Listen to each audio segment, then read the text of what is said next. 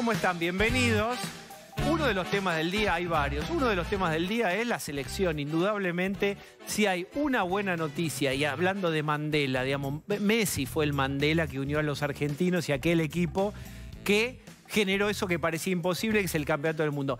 Ese momento puede ser recreado, esa atmósfera de hermandad y de felicidad colectiva, como insisto, hace mucho no se veía, puede tener lugar el jueves que viene cuando juegue Argentina en esta demostración con el sparring que es Panamá. Panamá es el sparring que incluso juega con suplentes. Lo importante es ver a la selección ahí.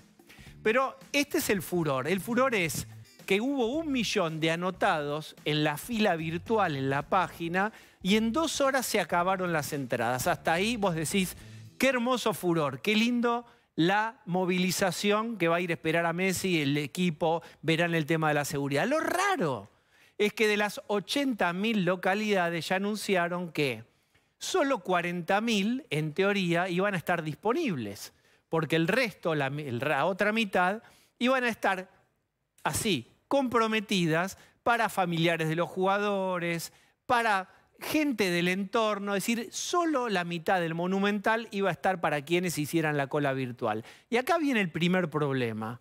Gente de primera mano y de confianza de uno y de muchos de los que estamos acá, y seguramente vos conocés casos de, la misma naturaleza, que se anotaron y que por ahí en la fila virtual de la página estaban 15.000, estaban 20.000, no entraron.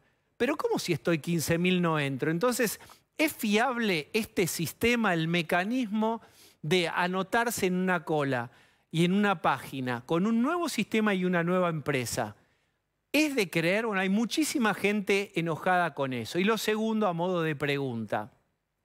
Ustedes saben que la página que está vendiendo y distribuyendo, en realidad está haciendo su gran debut en las ligas mayores y es una empresa nueva es una empresa nueva que además es propiedad de empresarios, sobre todo de un empresario teatral y de aerolíneas muy próximo a Sergio Tomás Massa.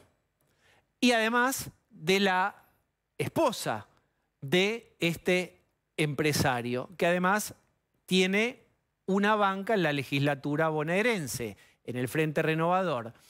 ¿Qué es eso? ¿Conflicto de intereses? ¿Influencia? ¿Cómo podemos llamar a eso?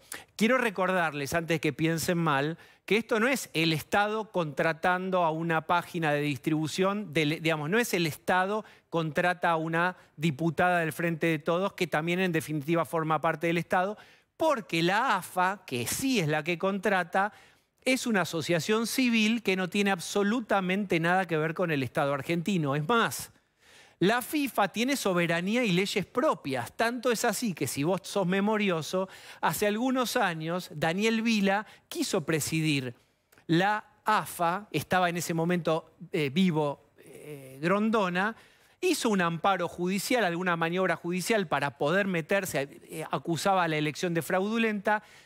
Grondona levantó el meñique, ni siquiera el dedo anular donde tenía el todo pasa el anillo, levantó el meñique se comunicó con la FIFA y la FIFA simplemente dijo, si siguen con las acciones judiciales, vamos a desafiliar a la selección argentina de la FIFA. Es decir, soberanía y leyes propias. Casi la AFA, les diría, es como una embajada de otro país llamado FIFA.